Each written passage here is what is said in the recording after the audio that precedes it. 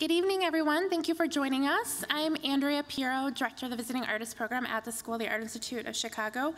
And it's my pleasure to welcome you to this evening's talk by visiting artist Daniel Joseph Martinez. Each year, SAIC's Visiting Artists Program hosts a variety of presentations by internationally recognized artists, designers, and scholars to foster a greater understanding and appreciation of contemporary art and culture. It's an honor to welcome Daniel Joseph Martinez to SAC, and I would like to thank him for his generosity and for sharing his work with all of us this evening. This program is presented in collaboration with the Office of the Dean of Graduate Studies, and I would like to thank Dean Arnold Kemp for his partnership. I'd like to invite you to join Daniel Joseph Martinez for a conversation tomorrow afternoon with Deana Haggag, President and CEO of United States Artists, and Inigo Manglano Ovalle, Artist and Professor of Art Theory and Practice at Northwestern University.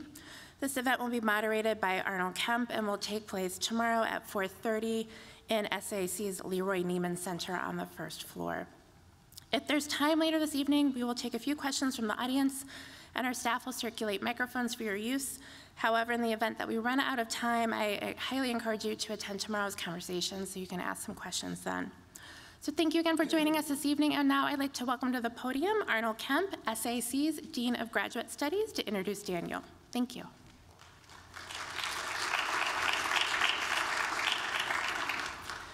Thanks, Andrea. This is um, uh, been a great partnership, and thank you for you to you and your staff for all the organizing um, and organizing the studio visits and hosting Daniel today. I had a really full plate today, so I couldn't welcome my great friend face to face when he arrived.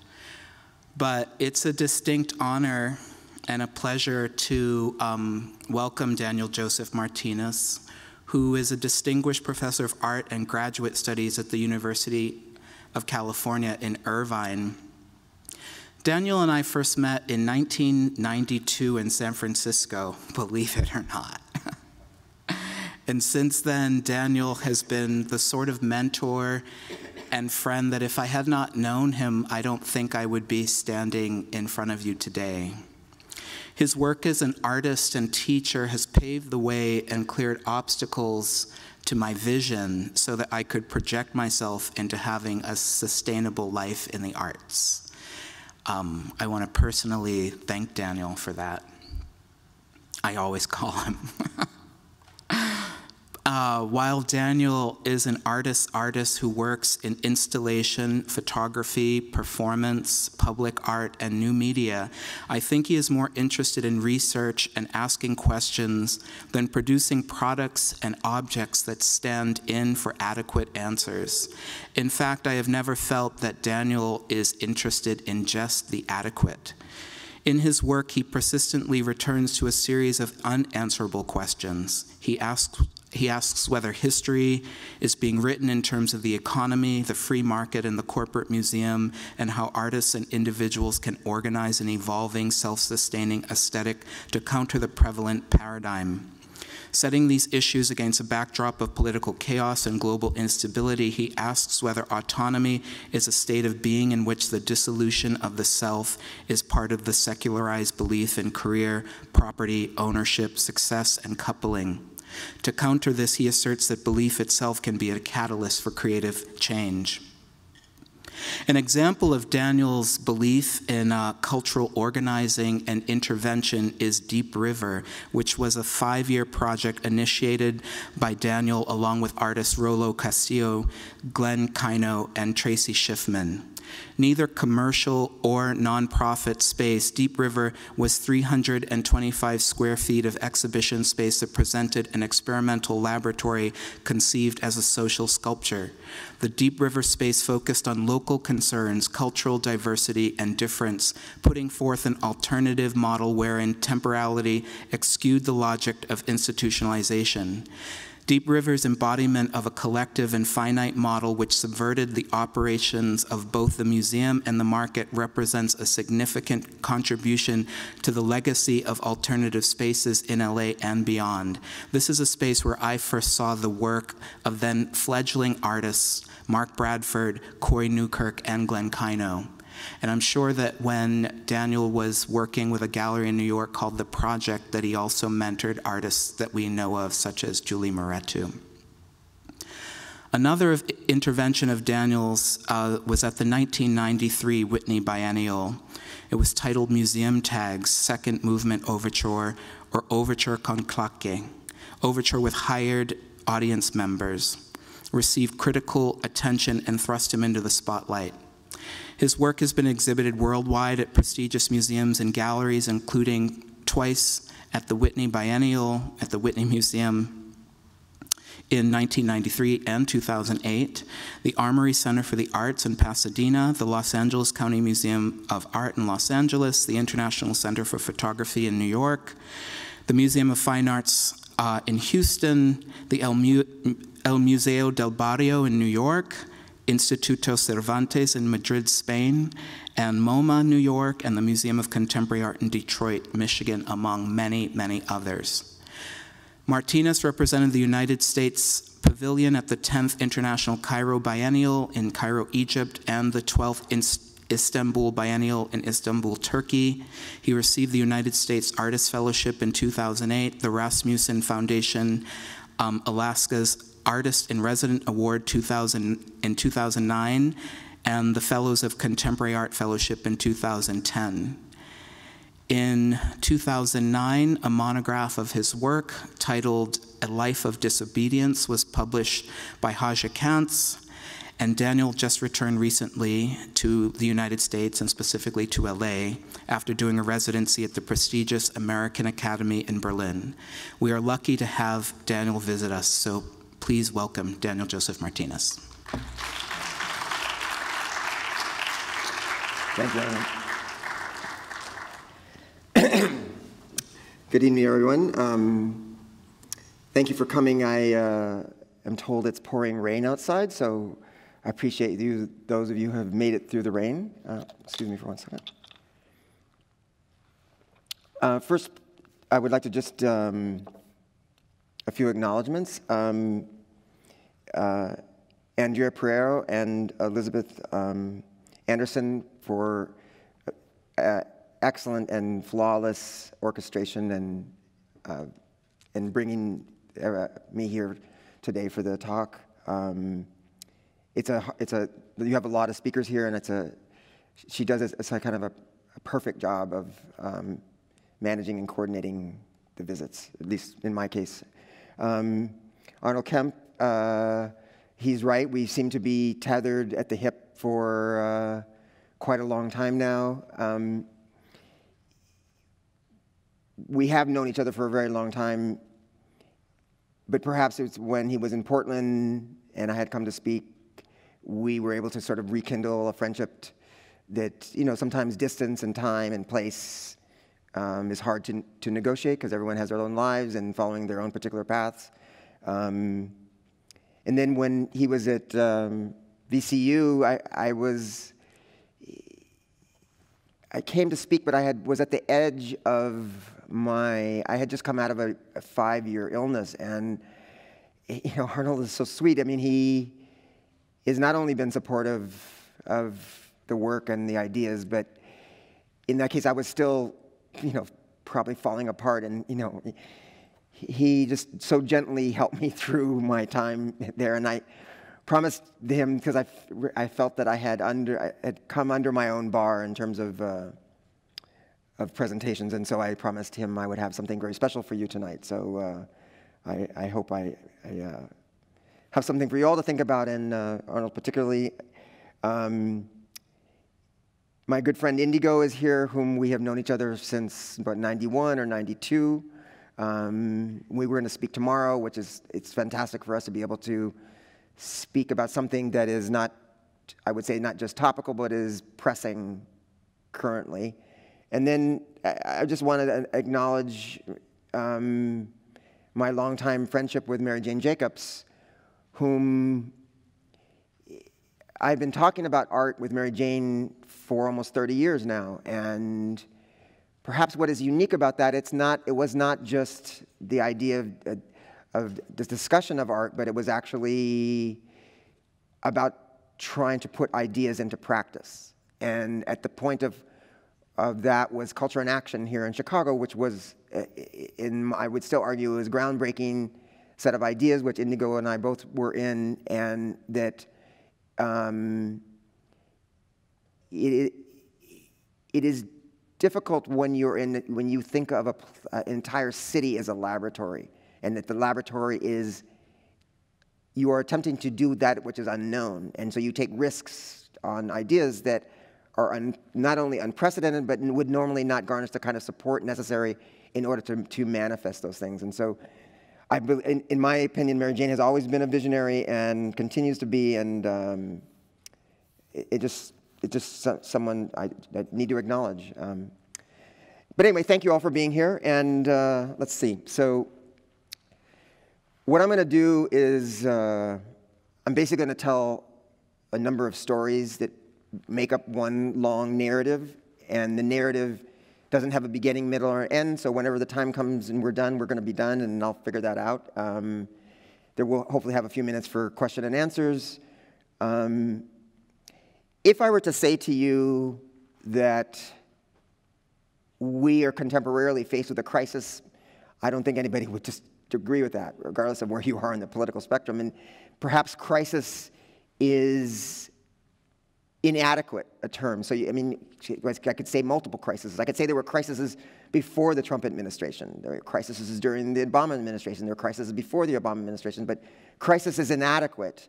But if I were to say to you that we have hit a point of saturation, that's a little bit more precise of a term. And I would actually say that something that is both culturally and scientifically a term would be something called hypersaturation we are now faced with a condition contemporarily that is so immersive, there is so much data, and there are so many things that are at risk, that are at odds, that are at contention, that it is impossible to consume the information and to consider the information with any contemplation at all, to garnish the facts, to form an opinion on what you believe, and then to move forward with that in some kind of way that genuinely has a consequence or makes a difference in your life, in the, your community's lives, in your family's lives, in, the, in, in, in trying to describe and to, or to interact in a world that you choose to interact with. And I would probably preface this by suggesting that I, I was in Berlin, as uh, Arnold had mentioned, at the academy, and before the election, during the election, and after the election. Okay, I, I was living there for about eight months in total. Um, you could hear a, of those of us that I will call a progressive community, um, those of us, half of the country that did not vote for Donald Trump, you could hear a gasp in, in Germany.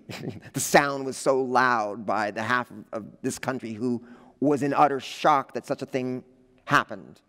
But I would remind you in the, in the midst of that shock that we are still, I would argue that we're still in. The, the, it hasn't even become trauma yet because we're, we're, it's still an evolving process of what we are being confronted with. But in effect, to be fair, imagine eight years previously, there was half of this country when President Obama was elected gasped in the exact same way. And so what we have to understand is that, that we are faced with a, an, a, circumstance of a binary that is not negotiable. We, there is no way to resolve this because it's a, a tug of war, an ideological tug of war that people literally believe differently and people literally want the world to be enacted in their worldview. And until we can rethink this, we are going to have a conflict that is, that, that is going to, we might be at the tipping point. And if, that, and if that's true, then we have to be very cautious because it's, there's a forbearing here that, is, um, that should be taken note of.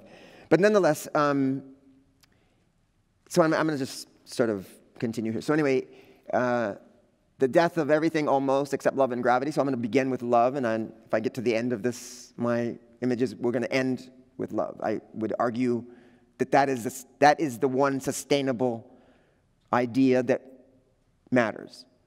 It matters above and beyond everything else, in my opinion. And I do not say that lightly because I have spent my life committed to two trajectories completely and, and totally. And one is the being living a life as an artist, and the other is in in teaching. I taught for more than half of my life, and I have been dedicated to these two single ideas.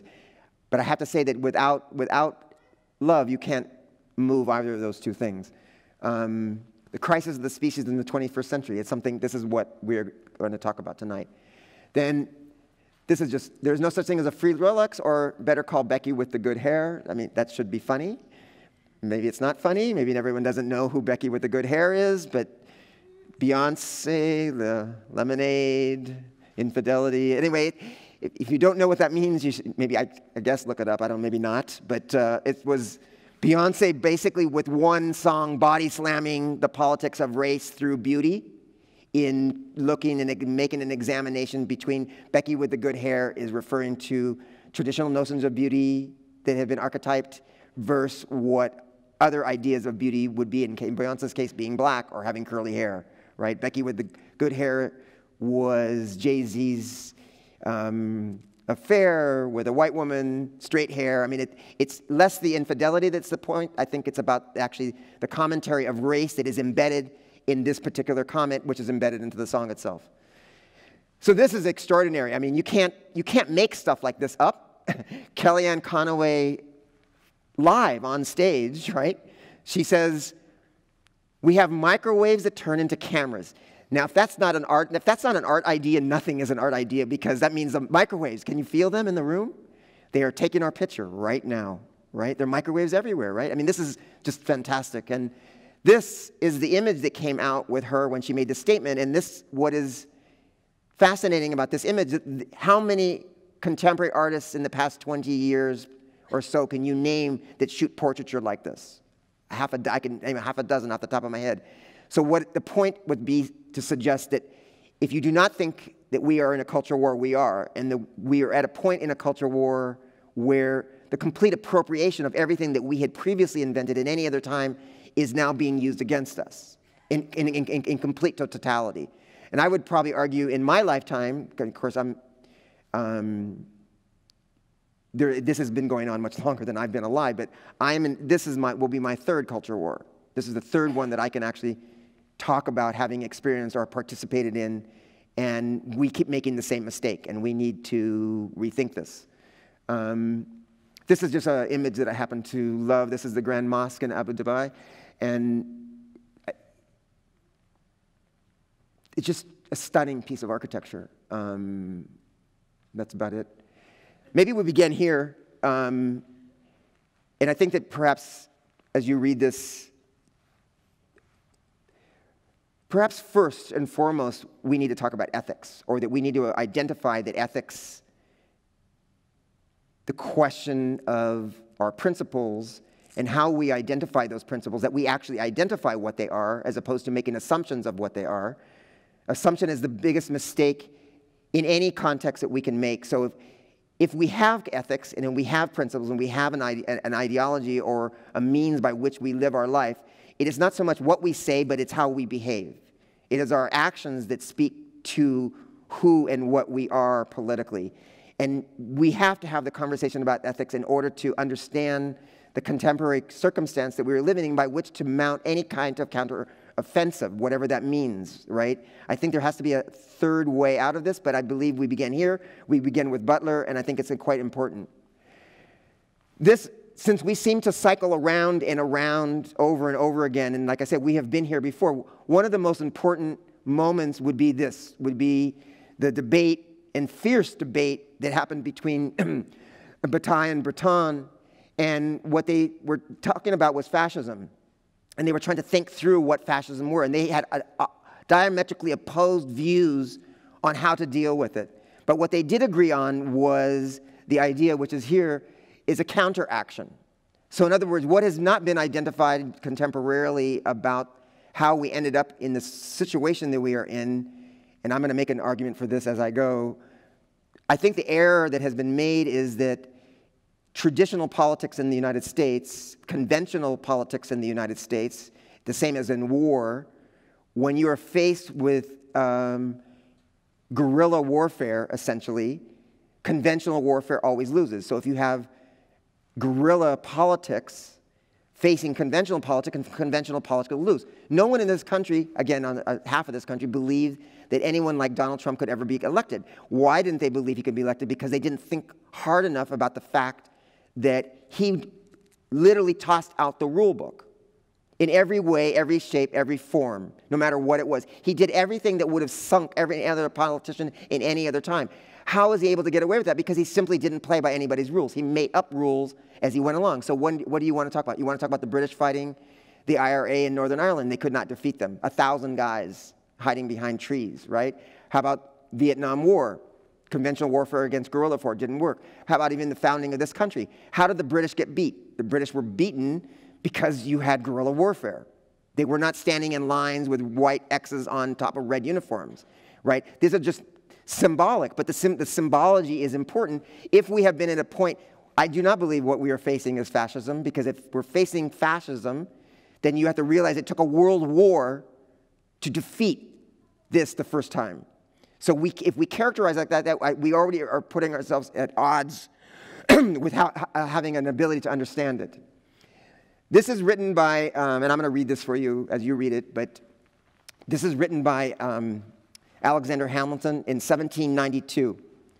The truth, unquestionably, is that the only path to a subversion of the Republican system of the country is by flattering the prejudices of the people and exciting their jealousies and apprehensions, to throw affairs into confusion and bring on civil commotion. When a man unprincipled in life, desperate in his fortune, bold in his temper, possessed of considerable talents, despotic in his ordinary demeanor, known to have scoffed in private the principles of liberty, when such a man is seen to mount a hobby horse of popularity, to join the cry of danger to liberty, to take every opportunity of embarrassing the general government and bringing it under suspicion, to flatter and to fall with all the nonsense of all the zealots of the day, it may be justly suspected that he has, his object is to throw things into confusion that he may ride the storm and direct the whirlwind. This is written by Alexander Hamilton in 1792. If that is not a prediction of the current crisis we face, nothing is. While I think there are plenty of holes in the Constitution and the Bill of Rights as a document to live by, this is certainly undeniable in its foresight as to what the Constitution should be doing, which is to prevent the situation that we're contemporarily in. This is a, just a fantastic painting in terms of the death of Caesar. So for, for a minute, if we think like Trump, Trump uses brilliantly misdirection and distraction. So there's a story about Houdini, one of my favorite, is he had an auditorium like this, filled, of course, because he's Houdini, and there was an elephant in the middle of the room. With everybody watching, him standing there, he made the elephant disappear. No one could figure out how he did it. No one, everyone in the room just like, wow, like it just disappeared as the story goes, he, the, he didn't do any, he, he used misdirection and he distracted people and he moved an elephant out of the room while they were watching. It's kind of fantastic. I'm not sure if the story is true or not, but the story is the point, right?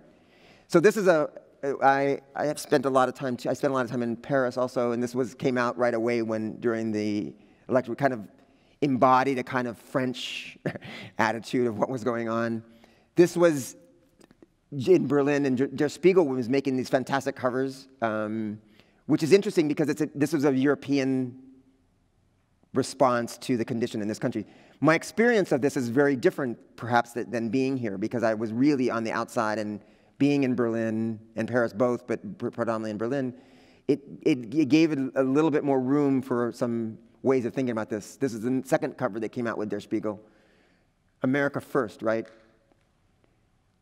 Time, the recent time, Trump himself. This is the, just um, this is one example of if you if you imagine that for one moment that he's not stupid, just for one moment, just I know that that goes a counter to everything that you we hear. It's every counter to almost all analysis that's gone on, but it's almost impossible for for his position to have, him to rise in the manner that he did without intelligence. So this is a, th- imagine if this is just a script. Imagine that he's an actor and a theater of politics. That's what this is. It's a, a theater of politics. So then, this kind of language, the construction of this kind of language, and the way that he does it, the way that he did something that people had dreamed to turn social media into a, this kind of tool, and nobody had done it except for Trump. Trump circumvented all media. He literally controls the media by doing this, and now you can't look at anything without him being on the cover of it. He, an article about, I mean, he took all of the air out of the room in this country, and it's always about him, and it's always about what he's doing with nothing substantive following. It's simply, it's, it's, it's, it's just a distraction, right? This is one of my favorite, is that he suggested that um, this was Obama and then this is Trump. They said that they photoshopped all the people from his inauguration over to the Obama photo. That's why there were so many people in the Obama photo, right? I mean, that's just like, okay, really? so this is what we think Trump is. This is what Trump was going to do to the White House, right? This is the Oval Office, okay? This is the Lincoln bedroom. This is the Rose Garden. This is Situation Room. But in fact, that's the stupid Trump that every, I think that he would like us to believe. But in fact, you have to look a little bit deeper and you have to realize who Trump is. Trump is this. Trump is the Bannon wing, right? Trump is the Pence wing. Trump is the McCain wing. Trump is the friends and family wing. Trump is the party wing. Look at the organization of this.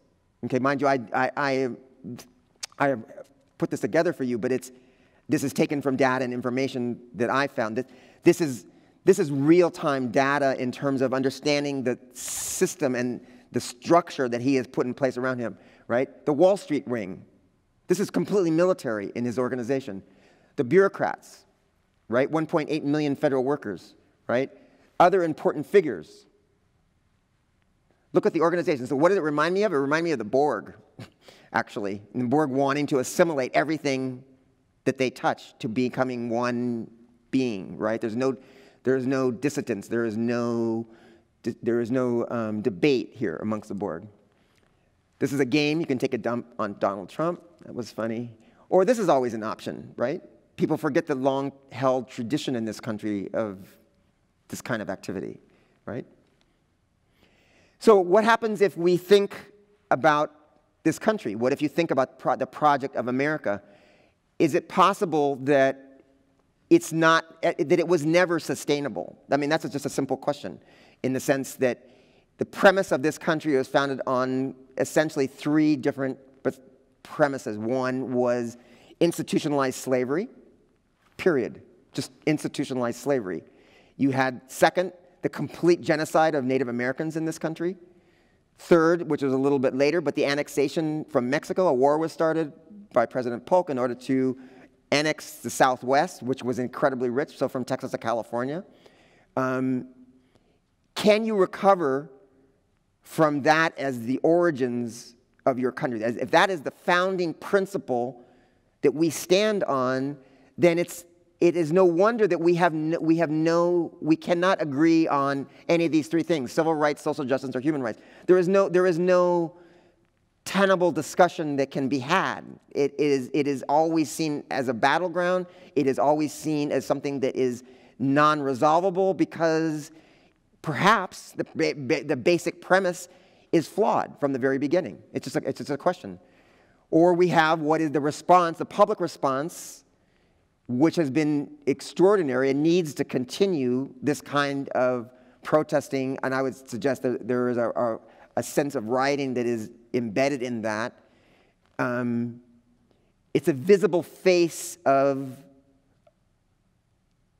people who disagree, right? Because it's because what else can be done right now? What the question? So that's the question. What can be done now, right? So that's another Borgian. That's the opposite. Resistance is futile except when it isn't. But the tenth man is an idea that I would suggest that we could think about. The tenth man is an, is a, is an Israeli concept, the, the Mossad, which is basically like the American version of the CIA.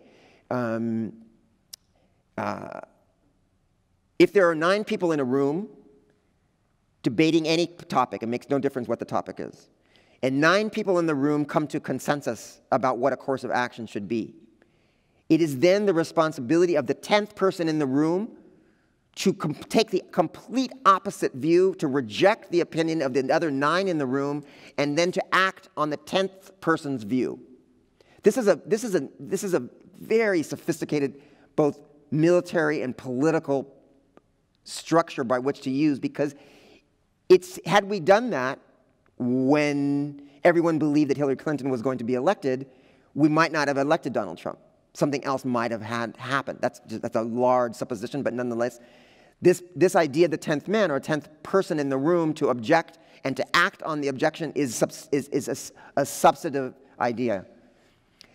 This is, um, look at the, the longest form of resistance, sustainable protest and resistance in the United States has been by black Americans um, since slavery in the United States. It has sustained itself over the entire length and breadth of this country up to today.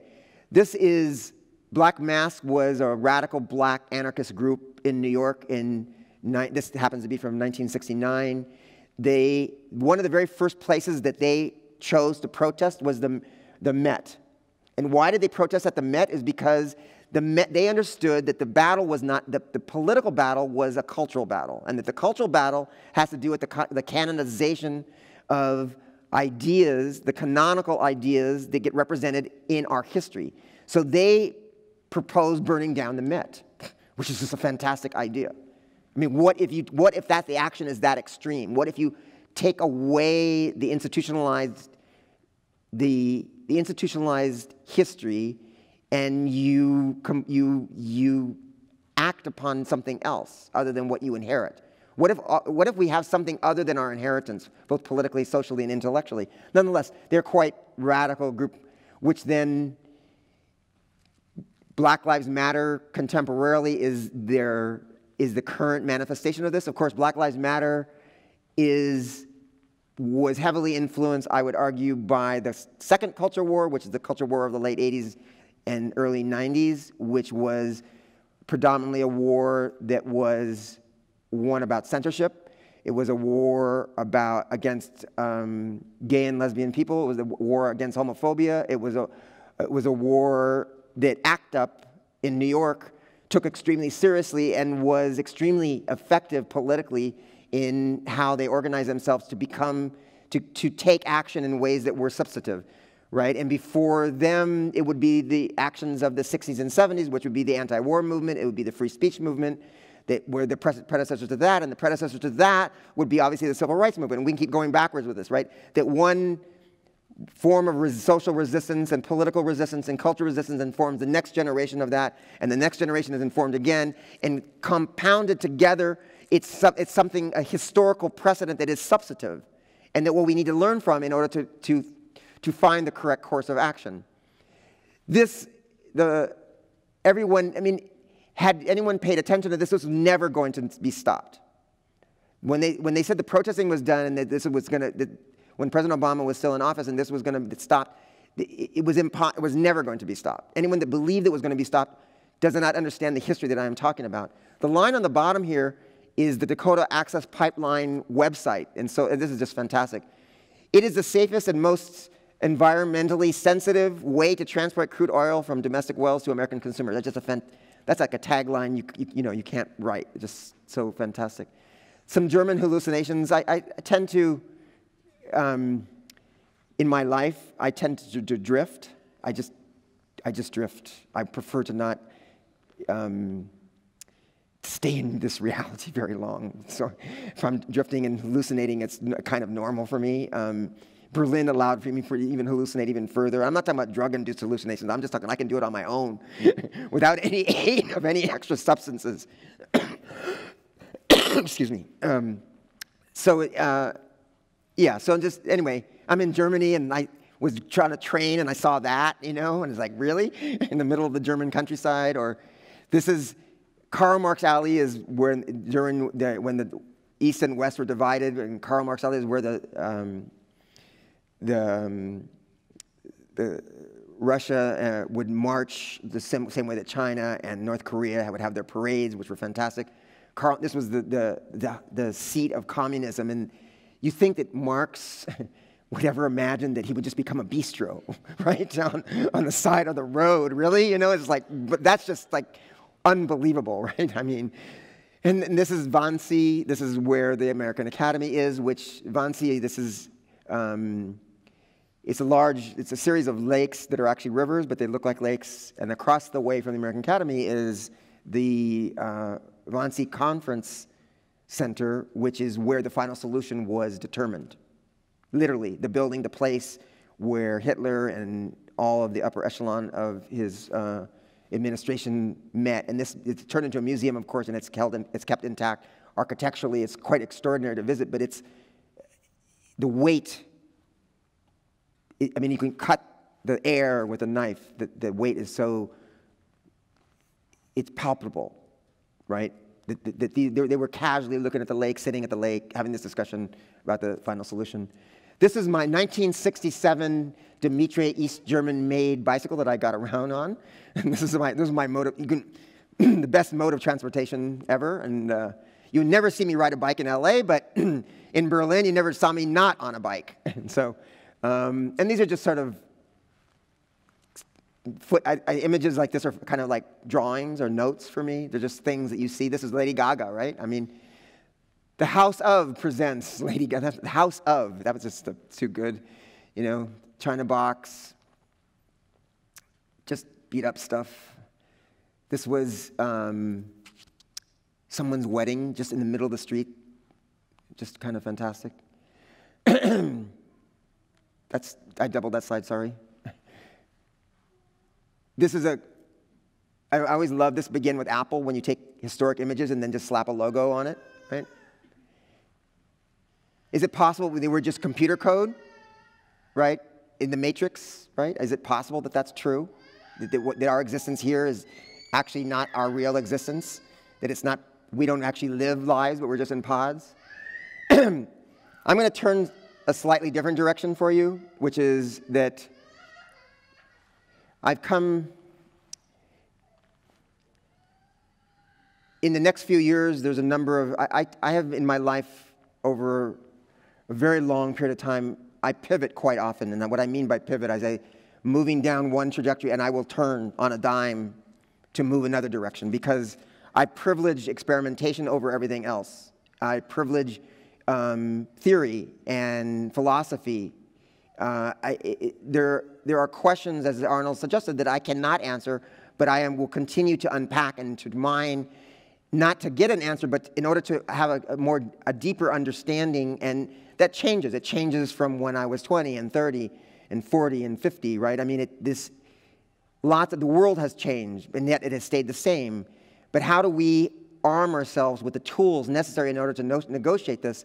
And it, I, for this, it I needed to sort of reflect a little bit on the sort of uniqueness of my um, in this case, education, and perhaps some of them what we would call, what Freud would call a primal scene, right? The, the, the moment where things begin. And I have a number of those to share with you. Before anyone thinks in their mind, why is it, prim- why is it the many fathers as opposed to the many mothers, maybe I could remind you that in the, my education in the 70s, for example, when I went to Cal Arts, um, here, whoop, nope, not yet, sorry. Um, when I went to Cal Arts in the, in the 70s, there were five minorities in the entire school. Five. I can name you all of them, actually. There was a black kid in design program. There was a uh, named Nolan Curtis. There was a woman named Shirley Yee who was uh, doing product design. There was a guy named George Torres who was studying classical guitar. There was a, a photographer named Pak Chi Lau who was in the photo department. And then there was me in the art department. Five people. So the,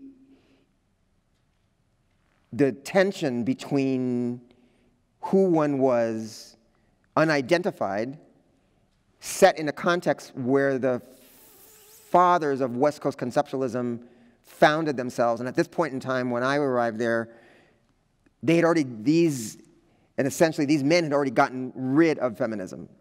What had begun as a feminist project had already been disbanded. And so you had there were almost no female teachers at the time. They were all men teaching. They were all white men teaching, right? And so, but nonetheless, out of that, you have you find something. But let me, I'll begin even further. But I am not, I do not believe in institutionalized religion. I'm not religious myself in the sense of in that qualification. But perhaps my background and my parents that I was in and out of public school for most of my of the of like for a very large period of time because I kept getting having difficulties um, in one manner or another, and eventually they sent me to the Jesuits. And the Jesuits are a contradiction because they are both the intellectuals of the Catholic Church, but they are also the and, and revolutionaries by definition, but they are also the the architects of the Inquisition, for example. so somehow they, they negotiate these two things, and that contradiction fundamentally is I find in myself, right? I, and it starts, it begins here, right?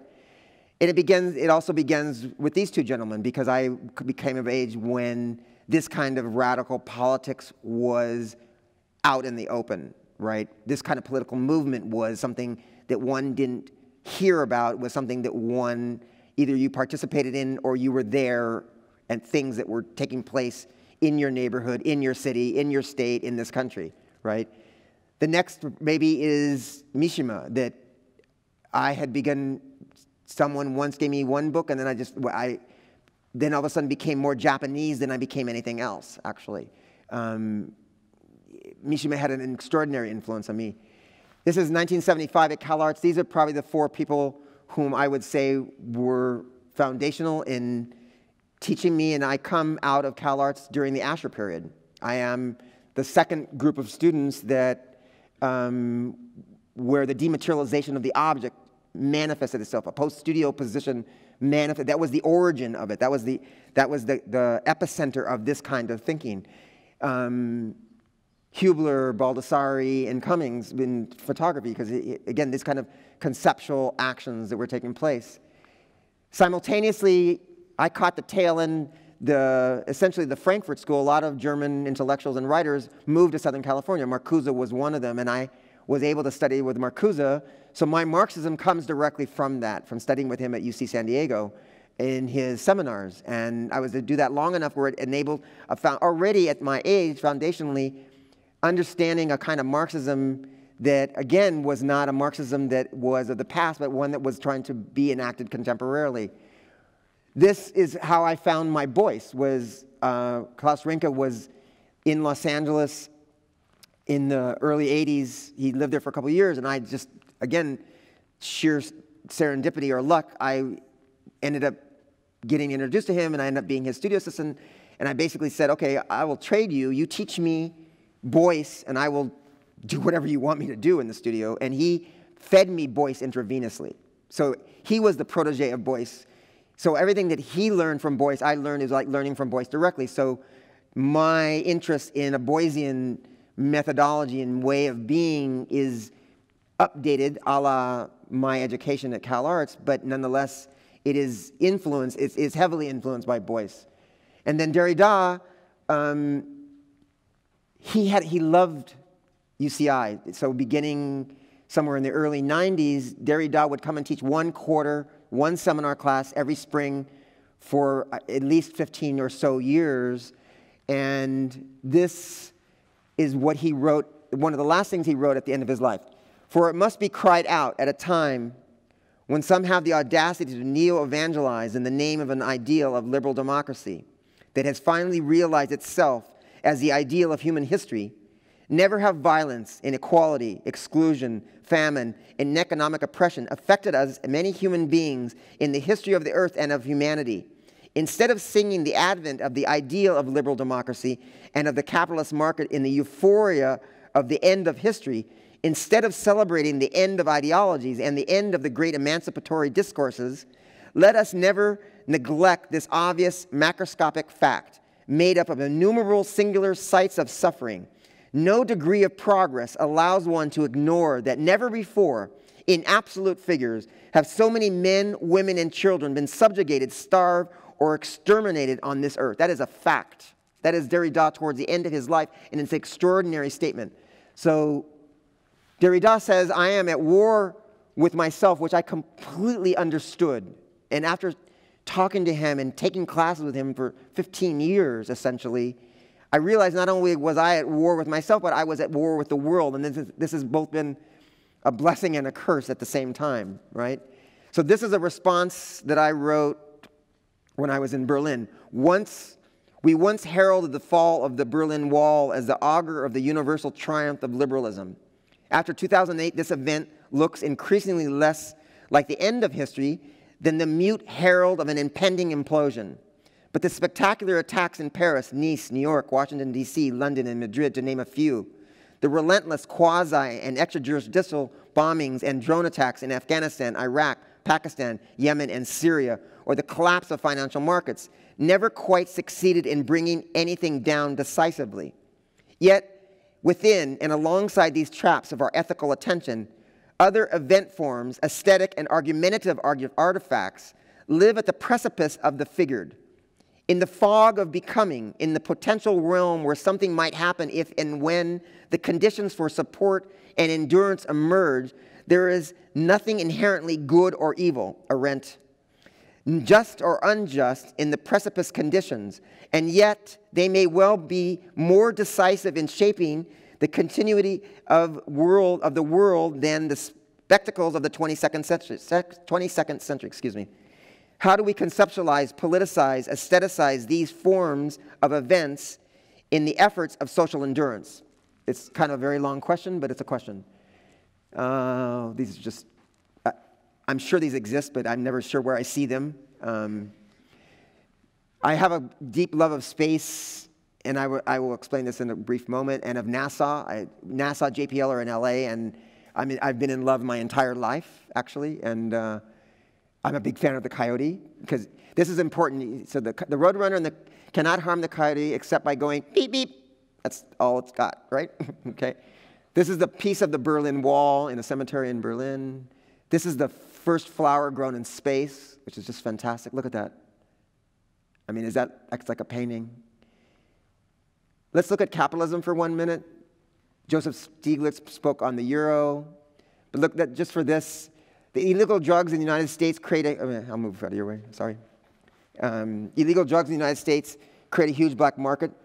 Um, an estimated 600 to 750 billion dollars a year in sight in the United States, with the current decade seeing the largest per person drug uses in American history.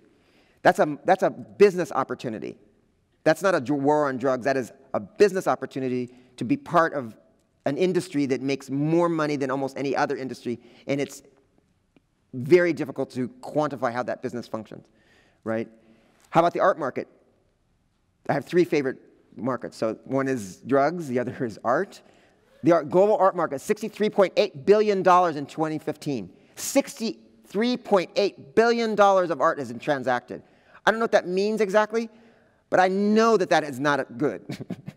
that just, I mean, just, yeah, I'm not sure how you propose ideas counter to a marketplace or even have the, room or air to breathe with that environment. So Modigliani, no, who's going to say that Modigliani is not a great artist? I, very few people. Is it worth 174, 170 million dollars? No, it is not. It is a completely arbitrary, fictitious number like everything else in the stock market, but people buy it. Who makes the most money in the art market? Look at this pie chart. United States holds 43% of the world sales on art, 21% in the, in the UK, 19% in China, and the rest of the world doesn't matter, basically. How about the, this is President Trump's $3.6 billion market, uh, budget. Half the pie chart, 49% is individual income, 31% is payroll tax. That's us, income, payroll tax. 54%, $622 billion on the military. On the military. This will give you some idea. So the military means you're giving contracts to people, which is what you're reading right now, but I'm just going to skip to the bottom. $12.9 trillion was spent on the Iraq and Afghanistan war. $12.9 trillion. That's just an extraordinary amount of money that corporations are paying for. This is how much, this is how much money the United States spends in comparison to everyone else in the world.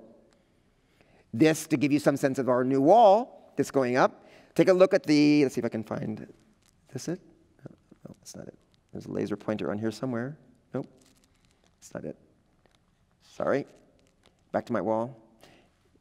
Berlin Wall, 3.6. The uh, Israeli wall in the West Bank, right? 700 kilometers. Our wall is going to be 1,600 kilometers, right? At 21.6 billion dollars. That means like the like war. This is what you're funding. And I always wonder why we're so worried about the Mexican border, but this is all you have at the Canadian border. you have one little obelisk that says that's the border. that's the international border. And people like, I'm sure, like, you know, walking by, and like, but no one's worried about Canada. No one's ever worried about Canada. I don't know why that is. Bitcoin is now valued more than gold.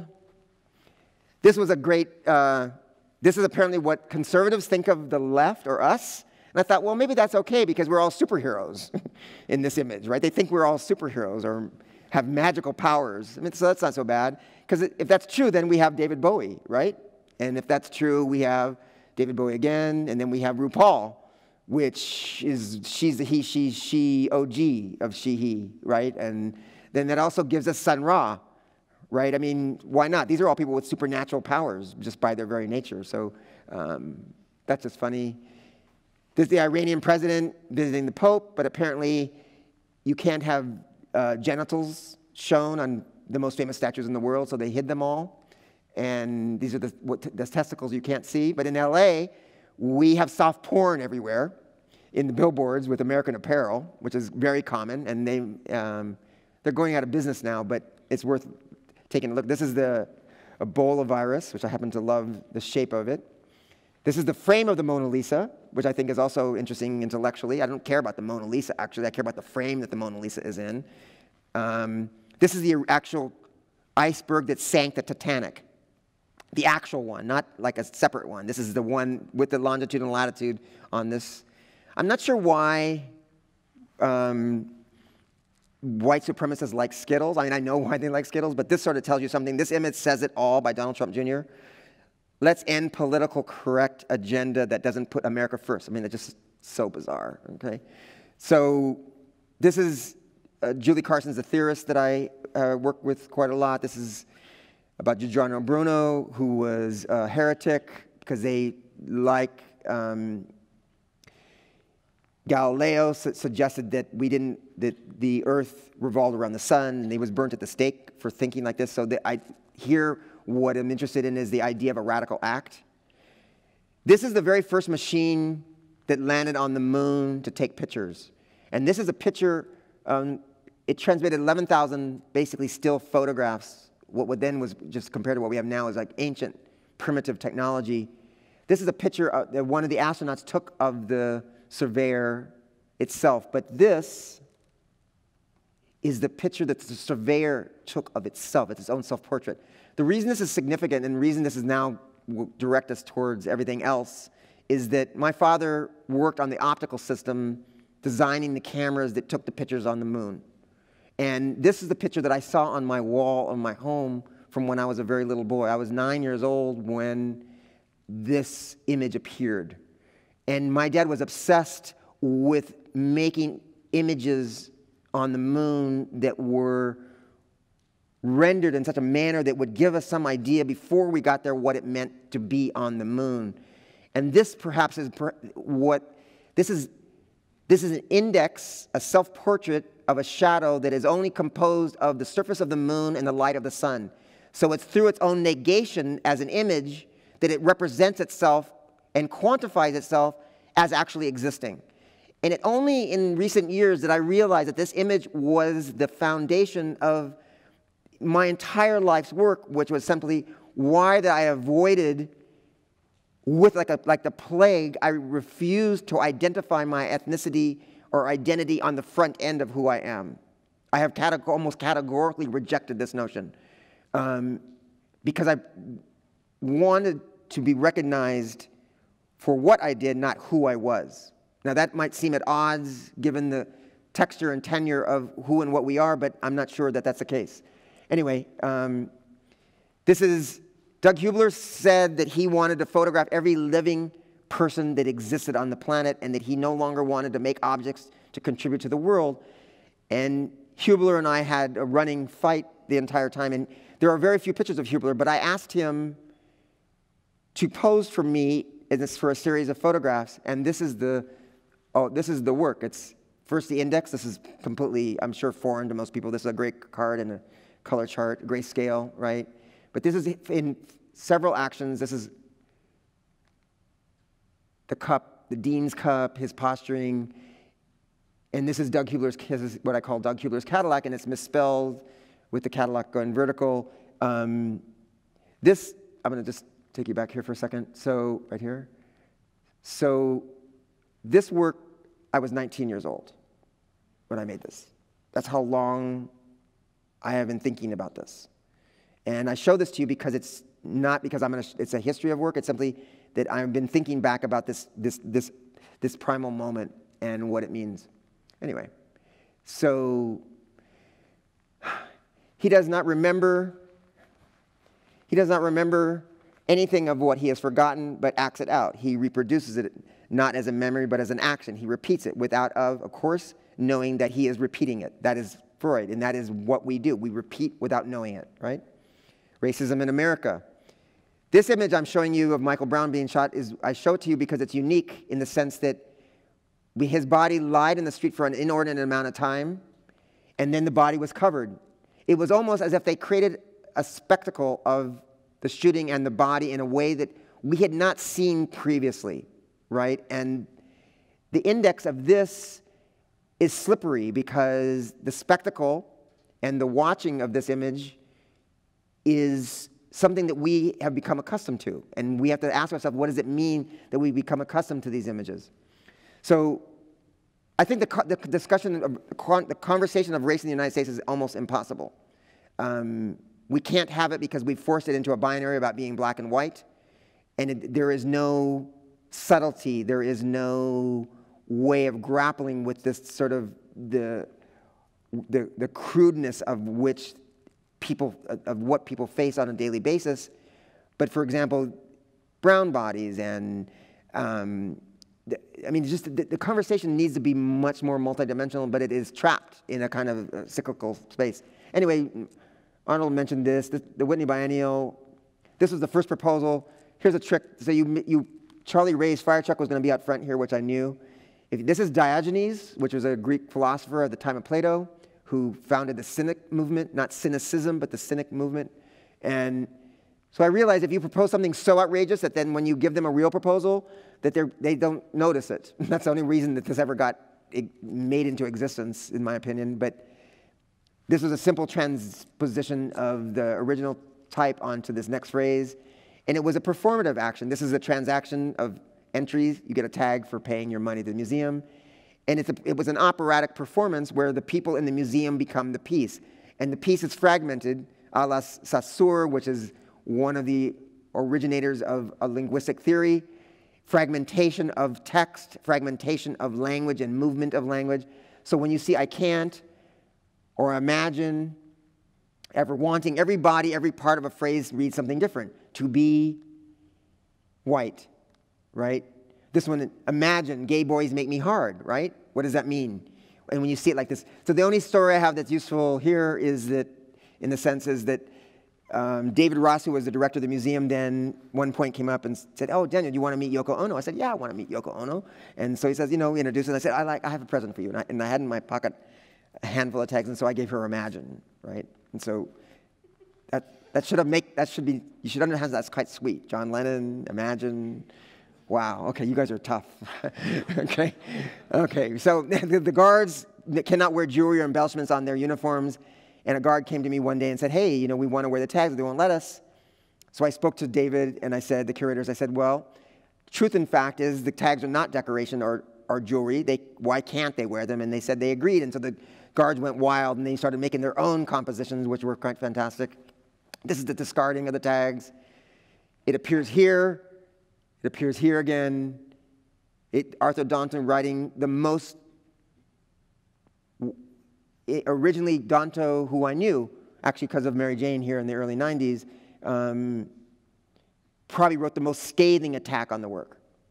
And after that, over the years, I got to know Danto quite well on a number of occasions when we um, communicated and we had, you know, we talked. And 10 or 15 years later, This is Arthur Danto is a philosopher. He happened to write about art, but he was a philosopher first. In the end, he did something that is ve- I've never seen done actually. Uh, he completely recanted his position and wrote a new piece about, particularly about the biennial, but in particular about the tags, where he saw it completely differently. But it took him like 10 or more years to see that. And it's something worth noting. This is one of my favorite. During the biennial, someone decided to make these and sell them. There was ads in Artforum. And um, so one day I called up this number to buy these. I said, hey, do you have any more of those Daniel Martinez buttons left? And they said, oh, yeah, but we're going fast. I said, I want 100. But I said, when you send me my 100, would you please send me 50% of all the money that you've made on selling these tags? And they said, why would we do that? I said, well, my name's Daniel Martinez. Bam, they hung up the phone. That was it. That was the end of that. And then recently, this will be part of our discussion tomorrow if any of you choose to come, that was repurposed once again to talk about the current um, Dana Schutz, the situation painting at the Whitney. Um, and there's lots, well, I won't go on that, that's a lot to say about that. This I found two days ago. This is, it says, you may be picking cotton, but we're picking you to go to the prom with us. And this guy down here, John Arrow, it's 2017. I mean, really? So this is this should give you some idea of the condition of this of what we live in culturally and socially. Who could say that? I mean, he's right. It's fucking 2017. How is that possible that that exists, right? Or how does this exist? I mean, really? Probably one of the most famed, legendary pieces of writing, Ghost in the Shell. I mean, it's epic. This is, I mean, this is a huge debate in itself. I mean, these are all debates that, are, that are, we are not going to solve here, but it's something that we're thinking about.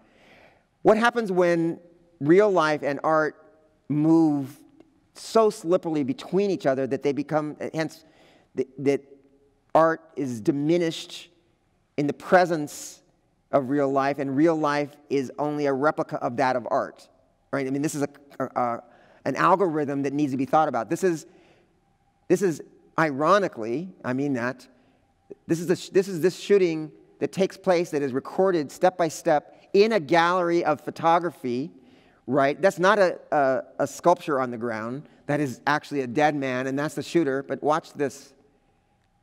This might as well be performance. Where does the camera go, right? And this is the, this I this I took a lot. I found this just as the, the, after they had shot the person that did the original shooting. I mean, this. When I get to some of these images, you're gonna you'll understand. Um, these are a set of images that were for the 93 Venice Biennial. They are images of the Red Brigade when they were being arrested.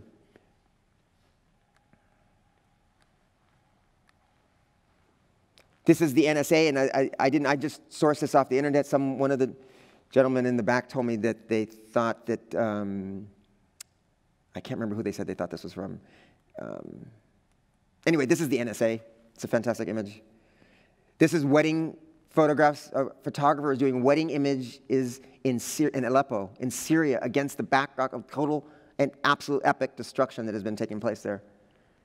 This, I'm not going to read this up, but this is this is a, a, piece on the side of a building in LA, but it's a list of every single intelligence agency in the United States. It's extraordinary kind of, if, when you read this off, it's just kind of a mirror. These are these funny little drawings I do in my neighborhood, and then I just leave them um, on fences. That's it. I just, they don't, they have, there's, there's just like little gestures. I live in South LA. This is the attack on Paris. This is, so this photographically, this, this is based on Nietzsche's um, How to Philosophize the Hammer or Twilight of the Idols. The gist of this is simply this, is that Nietzsche proposed that for us to move forward as a species, in order to evolve as a species, all idols that are worshipped must be killed, must be destroyed. He meant he's beginning with religion, beginning with money, beginning with acquisition of wealth and property, everything. But he said the very first thing that needs to be killed is the ego of the self. And so these are a series of performative works using people in Hollywood for special effects. There's no Photoshop in any of these images you're about to see. They're all recreations based on paintings, based on films, based on pieces of literature, and they enact out the complete destruction of my own body. These are all done by hand, complete analog. So this, what this is, is that the proposition here is, what if you create something that is, is complete artifice, but presents itself as complete reality simultaneously? Artifice presented as reality. That means inversely, reality can be presented as artifice. That equation is an equation that we have not yet fully mined as artists, as authors. Because the, in that, the proposition is it, the well is so deep in terms of the application, both intellectually, philosophically, in terms of our imagination, to tackle any subject that one would want to tackle in any way that one would want to tackle it. It is almost a perfect algorithm, right? If anyone knows, I mean, this is Caravaggio, the Salome, going backwards, of course. well, not of course, but perfect reproduction, right?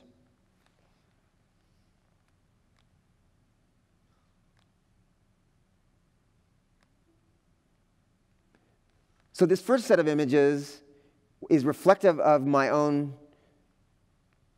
my own self-flagellation, you might say, from coming from um, the early idea of the, you know, thinking about the Jesuits early on.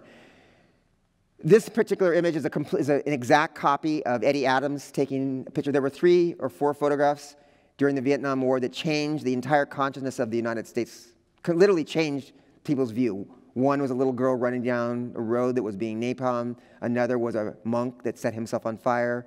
This was uh, execution of a Viet Cong man, that picture taken by Eddie Adams, and there were uh, 10 or 12 other photographers there at the exact same moment. Eddie Adams is the only person that took the photograph.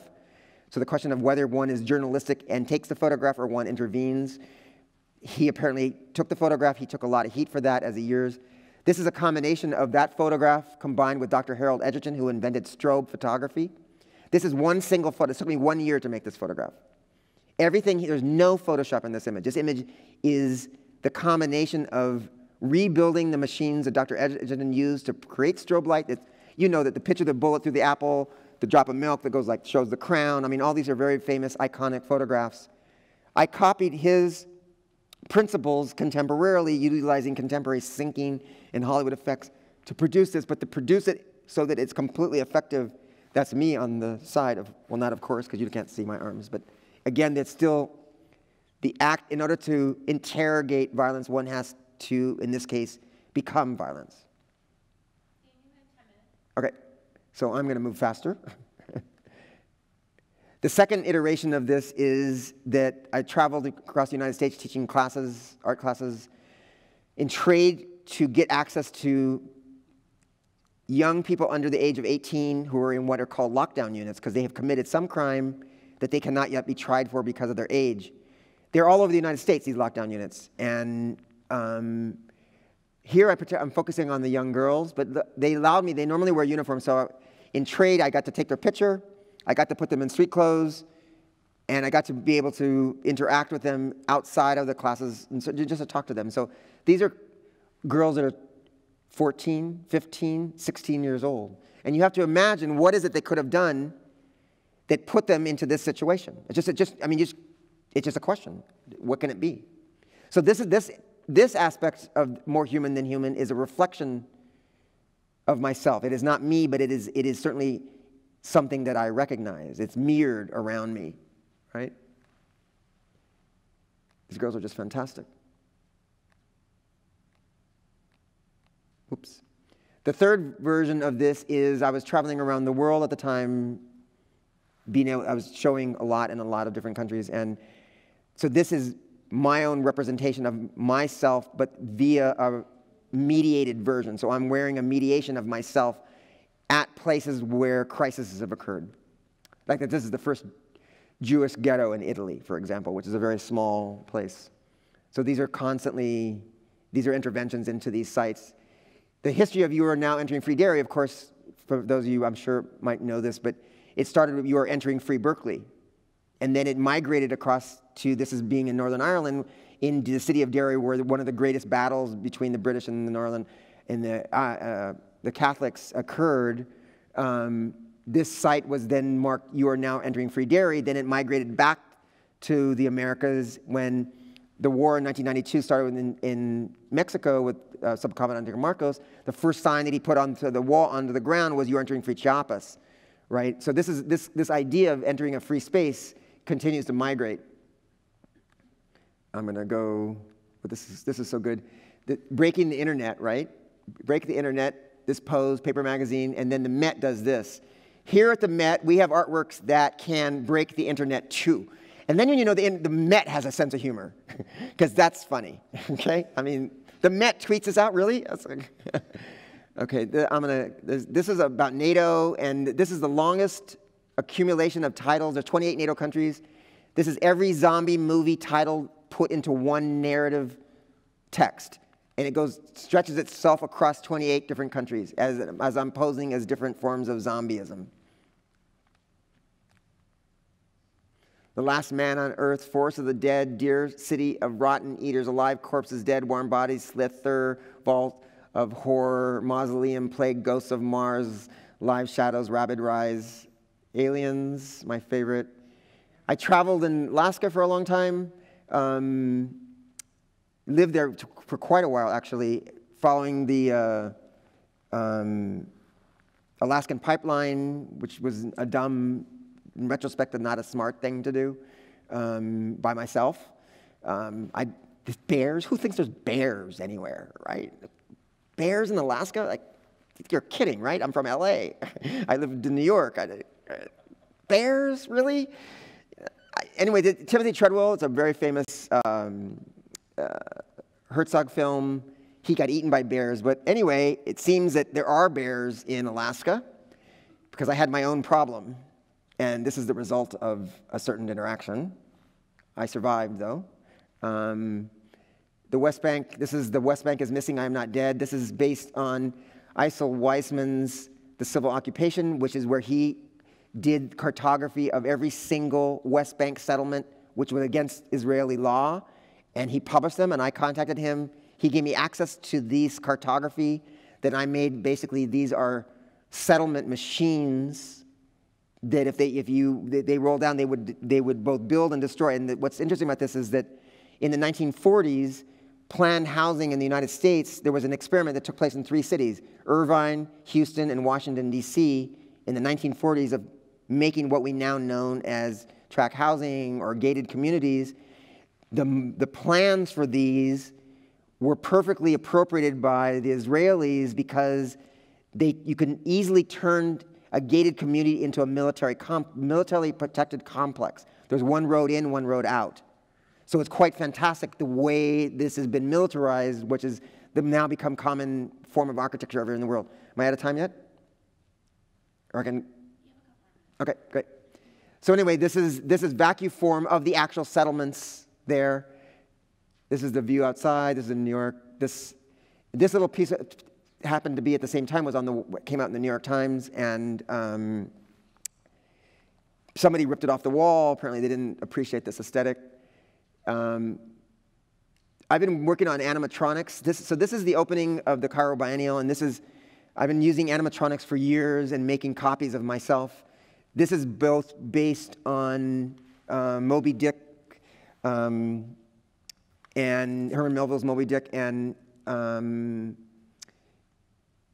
the figure Ishmael, which figures prominently in all three institutionalized religions. And here, the body is, my body is basically having an epileptic seizure in the middle of the room.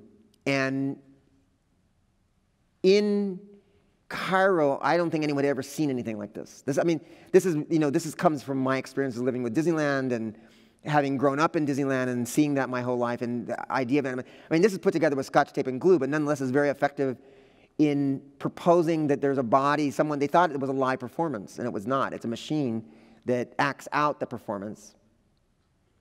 But it continues to, to basically throw itself so hard against the ground that it eventually destroys itself. This was going to be a series of machines. This is a painting by Goya, The Inquisition.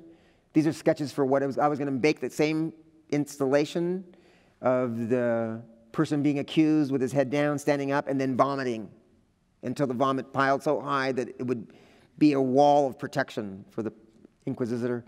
This is, um, they had a show at the Jewish Museum, and I, these small uh, refugee blankets, they're made out of mylar. They're quite fantastic. Um, they were, it was, a, it was a giveaway show. Everyone made in the show made giveaways, and I made these gold blankets because they're quite fantastic. This is me wearing one. This is one as a painting. These are the Russians and inflatables. I'll probably end with this. When they, they put up inflatable air forces and inflatable weapons so that when they're seen from the air by satellite, they look like real thing. So look, fighter jet, which is fantastic. So then you go, this is Paul McCarthy in Paris. Okay, so he puts up this giant butt plug, and the Parisians, of all people in the world, were offended by this. and they took it down, okay? And then they had a protest when they took it down of a bunch of artists in Paris saying, well, where's the butt plug, the green butt plug, which looks like a Christmas tree, a la Paul McCarthy. And Orlan staged the protest, there it is. And then you could still buy the chocolate version for 100 euros, right? So you could eat your chocolate butt plug, right, for 100 euros. And um, it, it, just, there's some crazy irony. I mean, the, really, uh, French are not usually known for being prudish, right? Not, certainly butt plugs are not new. Um, maybe this will be wrap it up here. This is a series of all these are all the photographs are performative. They all are durational. They all require extensive um, sculpture um, applications, prosthetics, um, augmentation of the body, representation of the body, manipulation of the body, and these are four works that have uh, they're all as you can start to see developmentally, all the work is autobiographical in some form or fashion, even if it uses an analysis or a critique, institutional critique or a critique of power relations, which is one of the many subject areas that it focuses itself on. But here, once again, these are the, onto my body are the, um, the first lines in the three most holiest books. And they basically say the same thing about God to the letter, to the word, whether it is the Old Testament, whether it's the New Testament, whether it's the Quran, it makes no difference. They say the same thing about God. They're talking about the same God, right? This is on an Afghan prayer rug, which were at, at the time, there was a way that the Afghans would tell a story about the war with the Russians. And I think happened, these are Gaddafi was just fantastic. He always loved gold and gold guns. And then this is the um, this is uh, Maurizio Cattelan's gold toilet at the Guggenheim. And then maybe we'll. Am I still okay? Okay, let me just see where I can end. I'm going to end here with this one last image. So this is uh, at the Whitney Biennial. This is based on a text of Walter Benjamin called Divine Violence. It's said to be the most opaque and difficult text that he had written, but basically it suggests, it asks a question when is violence acceptable?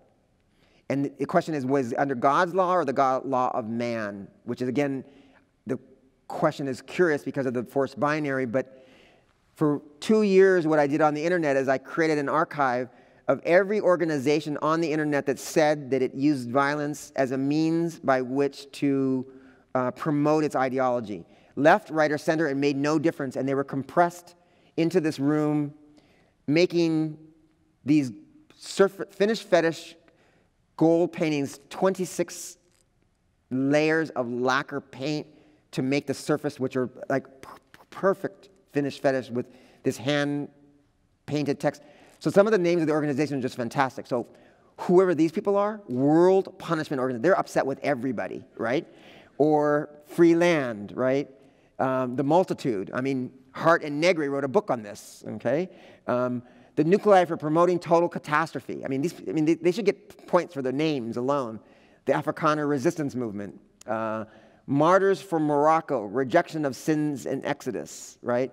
The Jewish Defense League. So here's the problem, or what the operation of the work is, is that when you would have something like this next to something like this, people would be in the installation and they would start saying, well, you can't, that is a terrorist organization, and these people, are, so these are the good guys and these are the bad guys, right? And therein lies the revealing of their own privileging of one political apparatus over another. Here, the, they are presented as completely neutral. The only time that were contentious or found themselves in contrast when people would start to object to, to the placement of one next to another. And this in lies the question about divine violence. Who promotes violence, who is violent, right? Anyway, so this was a good one.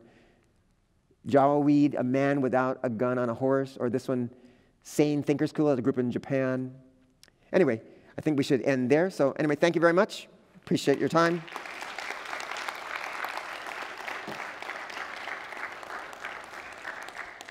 I'm happy to answer a question if you have a question. If you don't have a question, we can not have questions. Doesn't matter. What's that? It's a hypersaturated presentation. Yeah, yeah, indeed. and that's the point.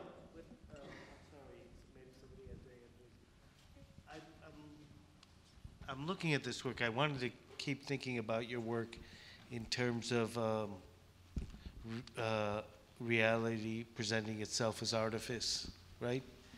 And I know that in a lot of, I knew you fluctuate between those two. The first time I saw that epileptic fit of Ishmael, I, I was just horrified in that room by myself. Right. And um, and that's in a sense a kind of artifice representing itself as reality on a very real level, and and felt really. And then this piece is then the opposite for me. It's kind of like. Um, well, no, this is reality representing as as artifice, whereas the other one was artifice represented as reality. Right, but it also also the the boundaries of the paradigm, right? So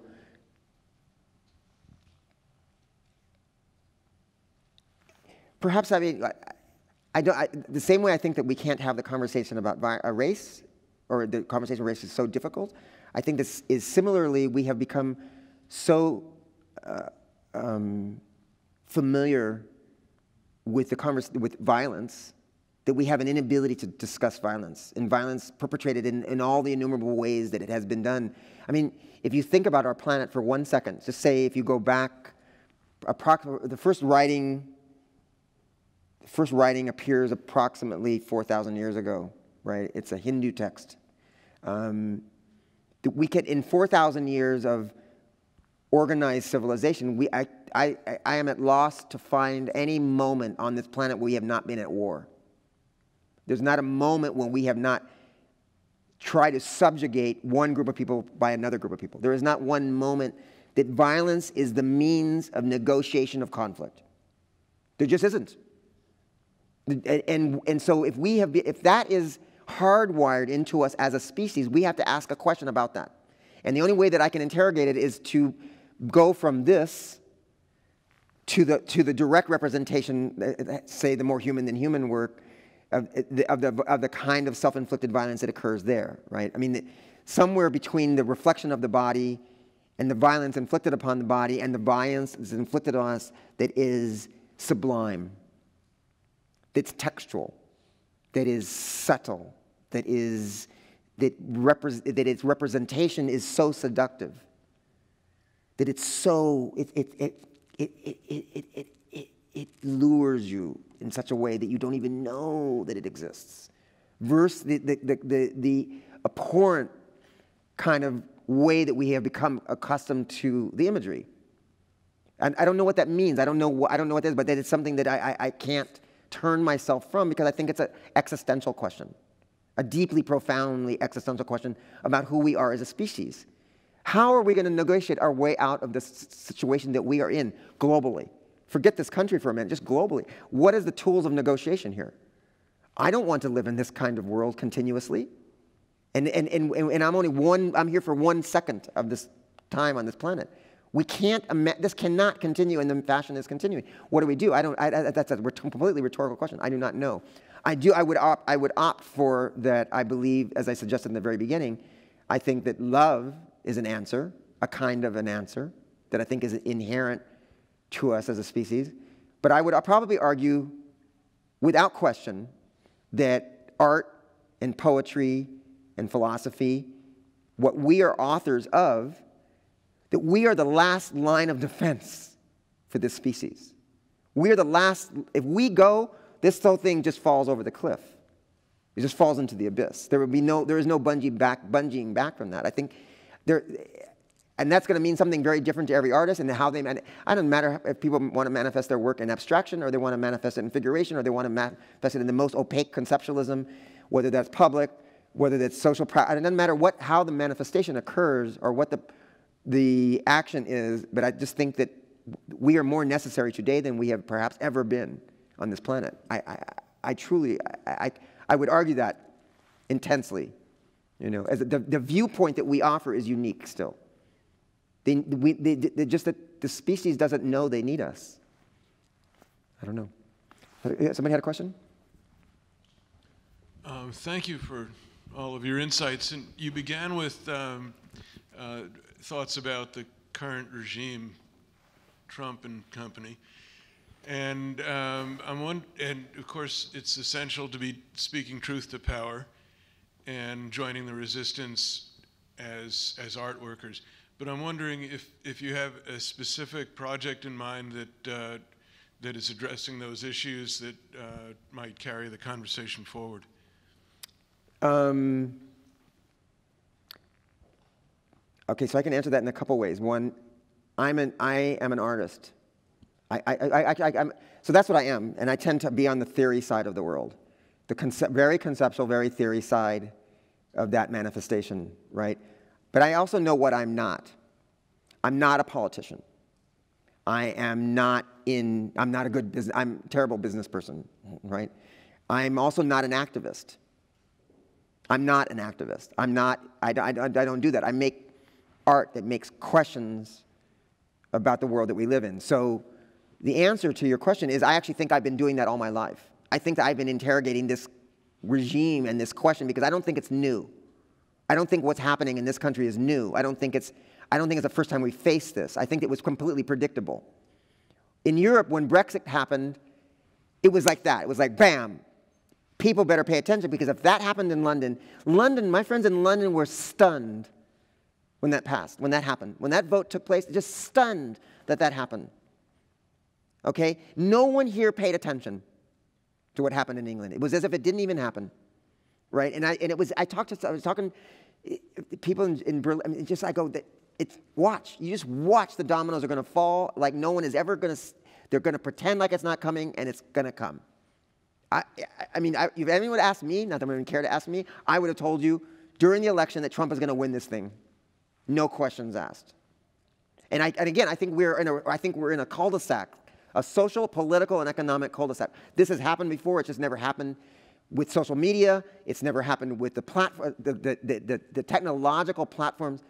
Billions of images are produced every day. Billions of images are transacted every day the tools of instantaneous transmission of information is, is, is it, it, it, it's, it has completely reshaped.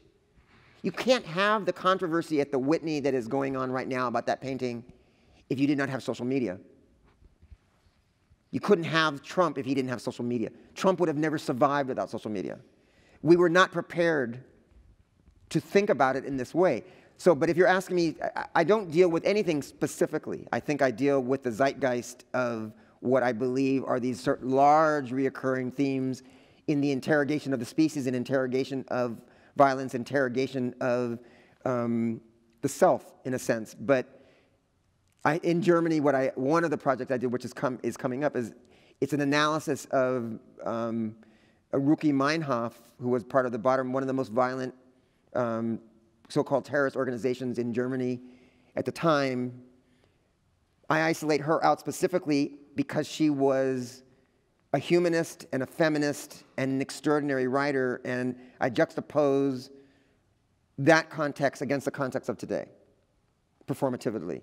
So I think I'm using going back to the terms of violence that are transacted in um, when the wall was up in Berlin and at the height of there was more violent terrorist organizations, terrorists is used with quotes, um, were led by women during this period than any other time, and it's gone unnoted.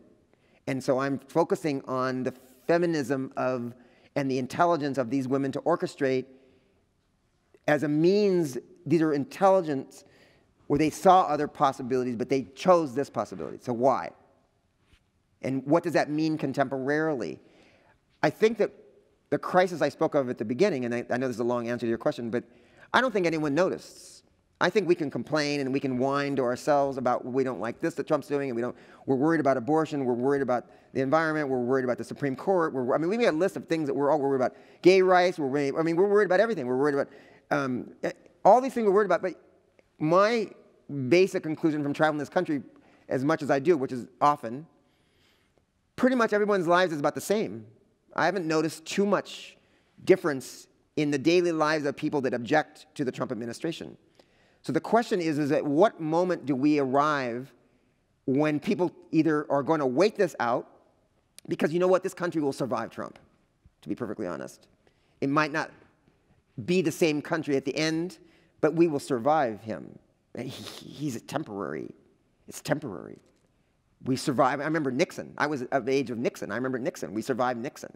You know, people forget Reagan and Reaganomics. We survived Reagan. We survived Bush. Okay, this is a more extreme version of that, but that's a reflection of the time that we live in.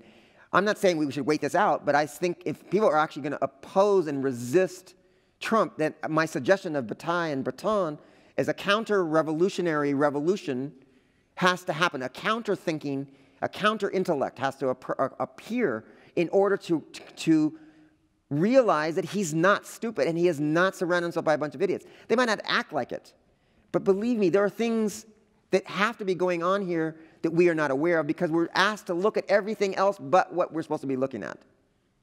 It's just my opinion. I, am not a, like I said, I'm not a political analyst. I don't pretend to be. I'm analyzing this from an aesthetic point of view. I'm an analyzing from a cultural point of view. I, I'm not going to say I'm right, but I don't think I'm wrong either. you know. Okay. Yep. Yes. I was wondering, you mentioned uh, that we keep making the same mistake in relation to the culture wars, and I wonder if you can elaborate more in that, and if love has to do with anything in relation to that mistake. That's an interesting. What I mean by that is that um,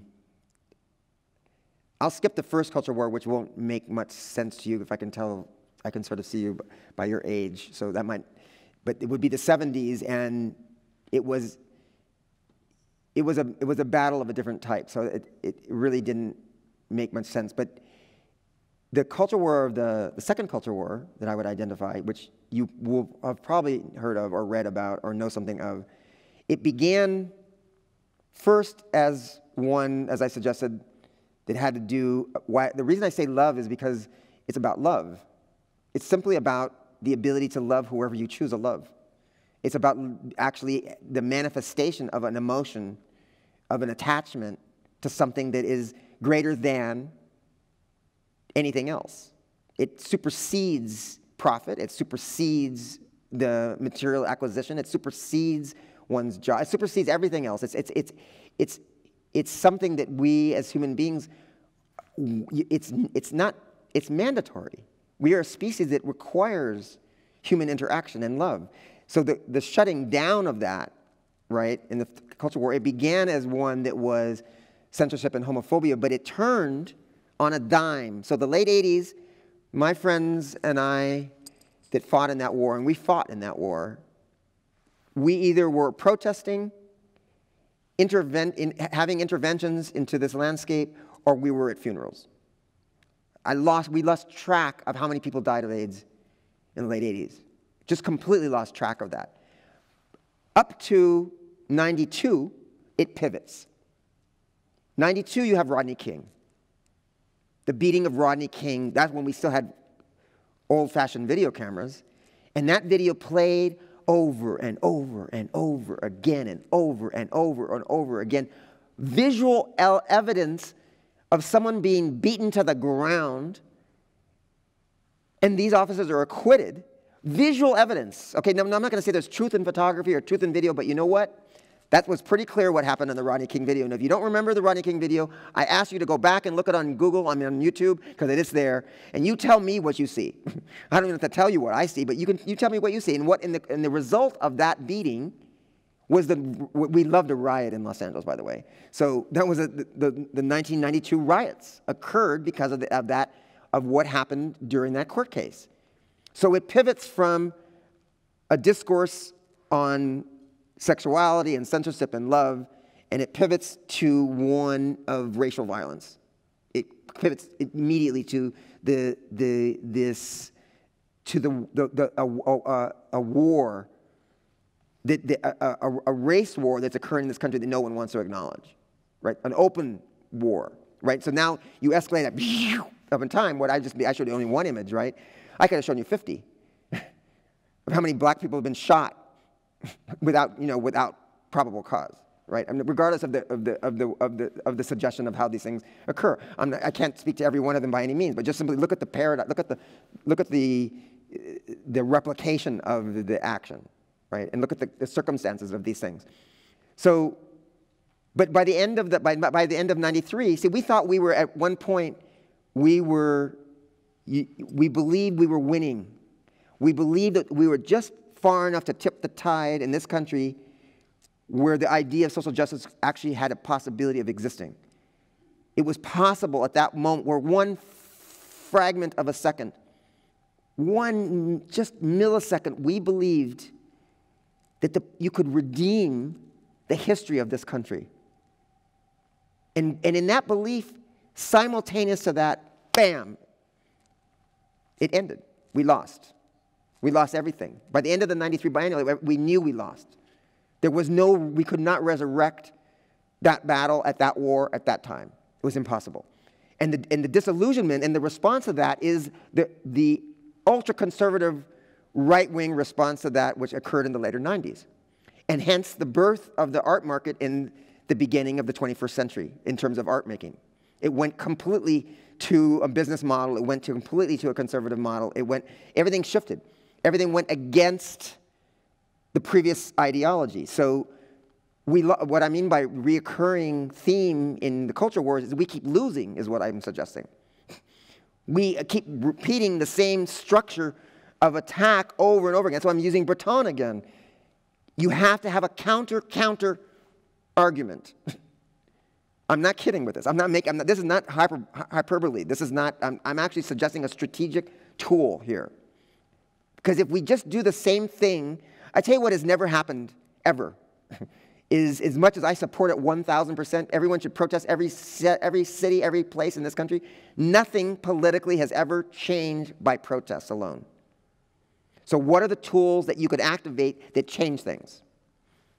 I, I, I, it's a longer discussion, it's a deeper discussion, but I, advocate for, uh, you know, in the end, I, I just, I, I advocate for love because, I, like I said, everything but love and gravity. they become. How do you get up every day? What do you hang on to as an ethos of who and what you are? How do you get up every day knowing what is occurring in the world? How do you get up every day knowing that we are basically living this country unaffected by most of the crises that occur everywhere else in the world? because we live in the empire.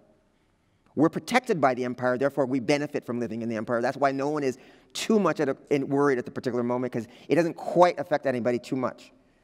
Some people, yes, more than others, of course, naturally. I say that not as a criticism, I say that as a, basically as a, as a kind of wake up call.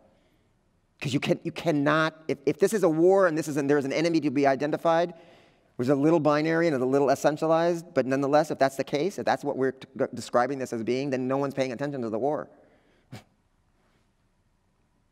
you have to pay attention, which means you have to risk something. I would, as in to this gentleman's question, I would argue I've my entire life risked something. I have not traveled an easy path to the type of work that I make, nor the discussion that I choose to be engaged in critically ongoingly. I will not back down from this discussion. I simply won't do it. I won't do it for the ATM pin number that I could be given. If I went another direction, I won't do it to calm down because I'm not as young as I used to be. I won't do it because I simply, I, I ethically will not do. I'm not, I refuse. I just simply refuse. What can I be? What are they going to offer me? What? I think that, I mean, there's, there's a, the, the path that we follow is important. That's all. That's, I hope that's some, I hope that's some part of your question I answered. So, okay. Thank you very much, everyone. I appreciate you staying. Thank you.